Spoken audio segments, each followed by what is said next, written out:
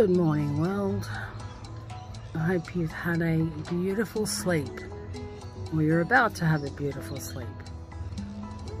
As for me, I've hardly slept a wink.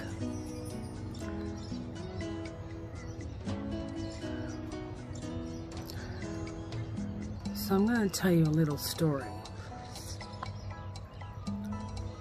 This woman, she was out the back of her house yesterday because the front is too exposed and the area she lives in is a little bit full of crime right now. Right now. So it's a bit dangerous for this woman to go out the front of smoke during the darker hours of the night.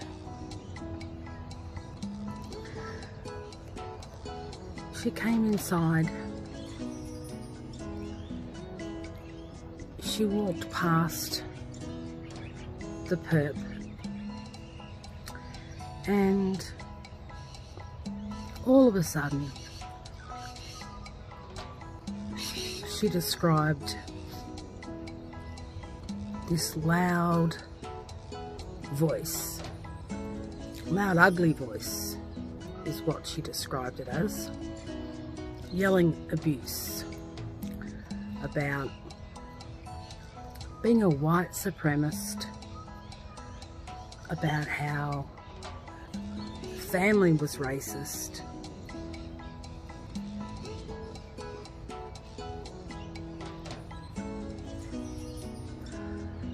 about how she's supposedly meant to be mentally sick like a mother, family's trash. She doesn't pack the dishwasher. When apparently the dishwasher stuff started prior to all this drama, if you could put it that way.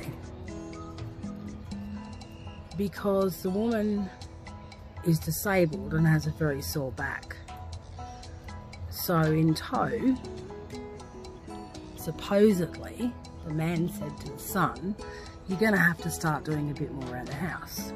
And this was due cause, apparently,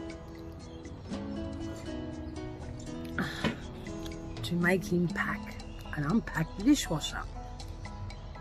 But she was being discriminated against because the sink was full of her cups and plates and when I say full, from what I can gather, she's saying that there's probably about five mugs of coffee, a couple of small plates.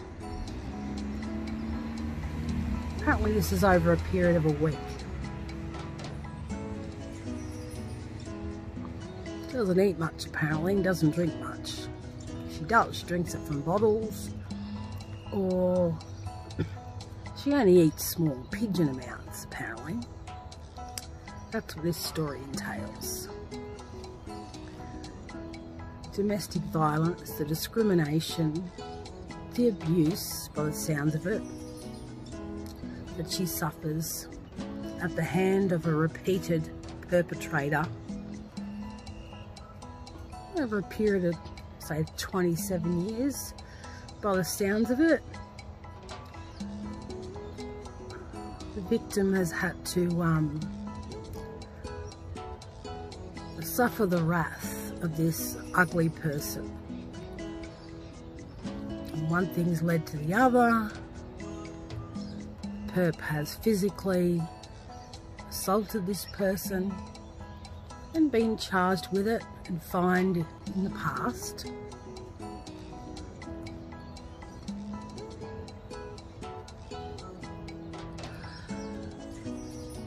So that was the story apparently that unfolded last night. I'll let you decide for yourself whether that's fiction or not fiction, non-fiction as they call it.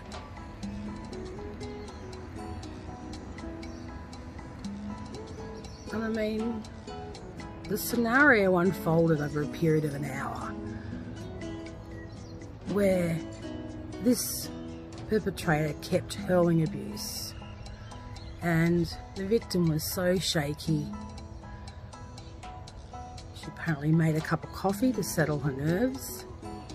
But on the way from the kitchen to the bedroom she dropped the cup. It broke and coffee went everywhere.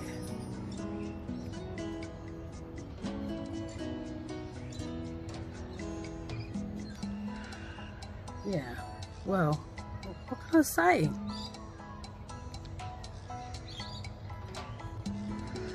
Fiction or non-fiction? Are you a coffee drinker? Are you a hot Milo drinker? Are you a cold Milo drinker? Are you a tea drinker?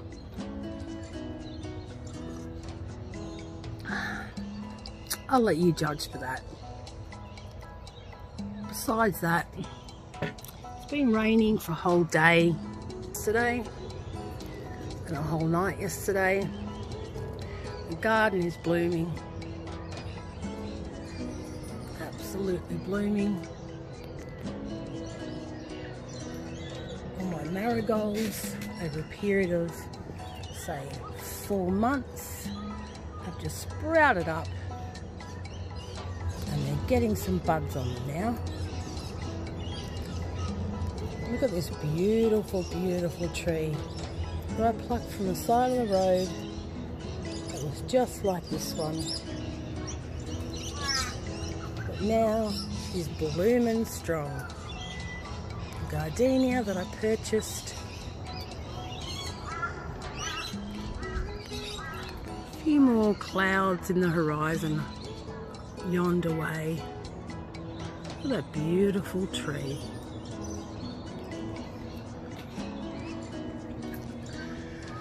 so that's the good morning story for you. It's up to you to decide whether the story is true or false. As I say, fiction, non-fiction. Maybe I should make it a regular story time for you all. Missing a nail.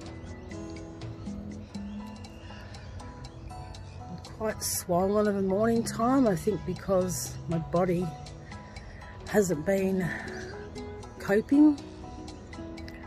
Just hope it's not my kidneys or my liver function.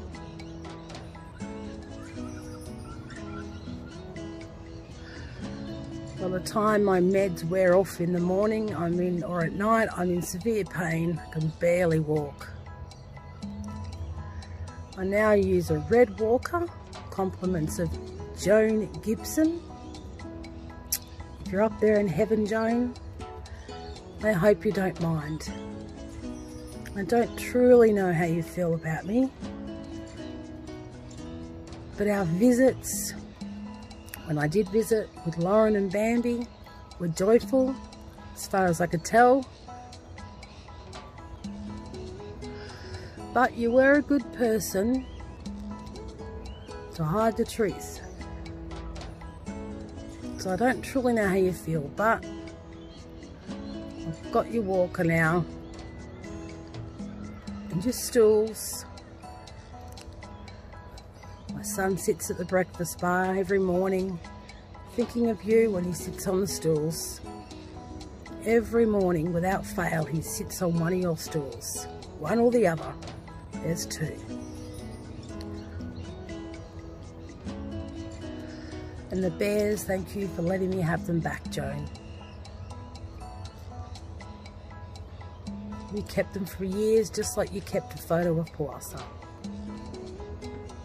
Baby Puasa and 12-year-old Lauren taken at the hospital shortly after birth.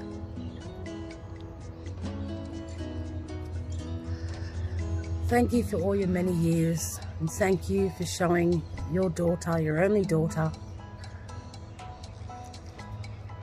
the love she deserved.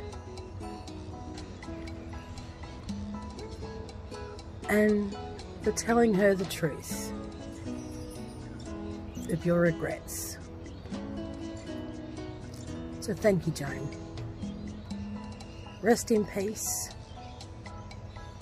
And I hope you are in heaven. And I hope you're with Rob and Rocky, your mum and dad, their mum and dad, and everyone else that passed away before you. Rip Joan, rip.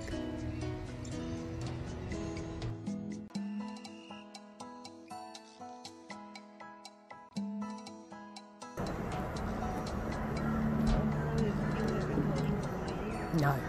Taking a photo first. And I usually edit all this stuff and I put music in the background so no one can hear. No, no, don't you worry. They don't get missed with me. That's why I can talk when I'm doing it. Oops. And I listen very, like for 20 minute video, it probably takes me an hour all up to listen to it. But no, don't you worry.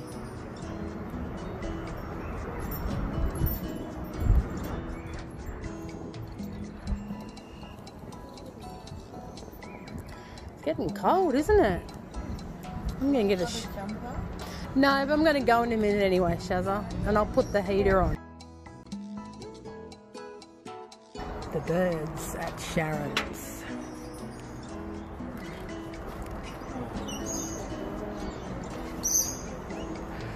You can see the magpie.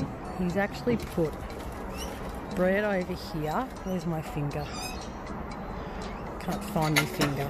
There it is, there and then he's going back over here. And let's watch him. He'll take it back over to his pile. There he is. He's putting it over near his pile. He's getting a stockpile closer. Oh there's another bird. A noisy miner eating it now.